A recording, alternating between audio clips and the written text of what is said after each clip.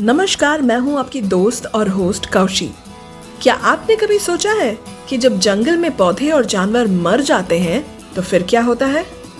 यही सवाल अक्सर सुधा के मन में भी उठता है। तो चलिए इस एपिसोड में सुनते हैं कि सुधा को इसका जवाब कैसे मिलता है।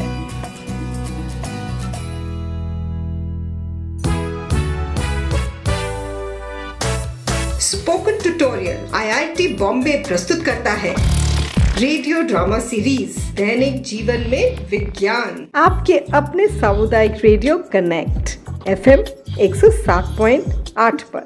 जी हाँ रेडियो कनेक्ट जो जनता से जुड़े डायरेक्ट वही है सामुदायिक रेडियो कनेक्ट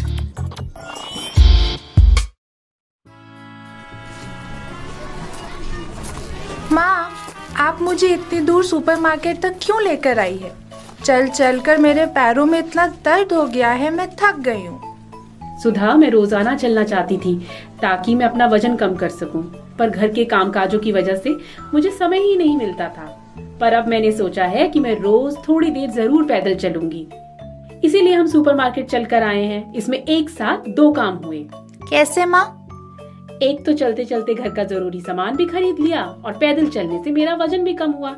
देखो दोनों माँ बेटी एक साथ वॉक करती हुई कितनी अच्छी लग रही हैं। अच्छा आप तो अपना वज़न कम कर रहे हैं पर मेरा क्या होगा?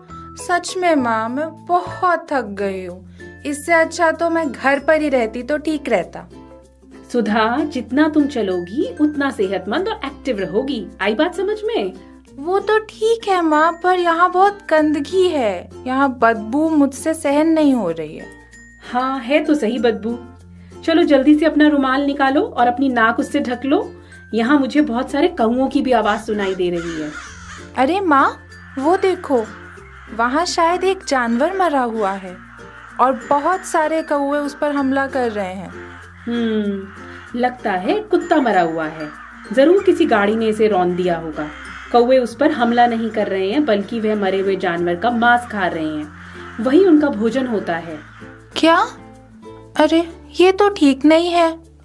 इसमें क्या ठीक नहीं है सुधा? और क्या तुमको अच्छा नहीं लग रहा है? दरअसल इन जीवों को मुर्दाखोर यानी स्क्वेंजर्स कहा जाता है अंग्रेज़ी में। अगर ऐसा ना हो तो हमारी धरती मरे हुए पौधों और जानवरों से भर जाएगी। यह मृत जानवर और पौधे ही इनका भोजन है। ठीक है पर मुझे ये ठीक अभी भी नहीं लगता माँ। अरे बात को समझो बेटा। जंगल में कौए गीदड़ लोमड़ी कुछ ऐसा ही उदाहरण है। जो अपने लिए भोजन मरे हुए जानवरों से प्राप्त करते हैं। अच्छा। और इसके अलावा मरे हुए जानवरों और पौधों पर बैक्टीरिया और फंगी जैसे डीकम्पोजर भी कार्य करते हैं ताकि उनके अवशेष जल्दी से मिट्टी में मिल जाएँ। क्या तुमको समझ में आ रहा है सुधा जो मैं कह रही हूँ? हाँ माँ समझ आ रहा है। और सुनो बैक्टीरिया फंगी कीड़े दीमक मरे हुए जानवरों को अवशेष को मिट्टी में मिलाने में बहुत मददगार होते हैं। क्या तुमको पता है मशरूम फंगी का एक रूप है जो मृत पेड़ों पर उगती है। ओ ये तो बहुत अच्छा है। लेकिन माँ एक बात बताइए क्या नदियों और महासागरों में भी मुर्दाखोर यानी स्कैवेंजर होते हैं? ज़रूर होते होंगे। तुम अपनी स्कूल लाइब्रेरी में किताब लेकर इसके बारे में विस्तार से पढ़ना और फिर मुझे बताना। हम्म तो क्या ऐसा करने के लिए आप आज सुपरमार्केट से मेरे लिए एक चॉकलेट खरीदेंगी? तो मैंने तो तुम्हें मुर्दा खोरो यानी स्क्वेंजर्स के बारे में बताया तो तुम मुझको क्या देने वाली हो उसके बदले में? आ, आपके गाल पर एक किस?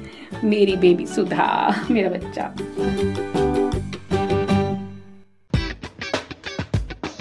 दैनिक जीवन में विज्ञान।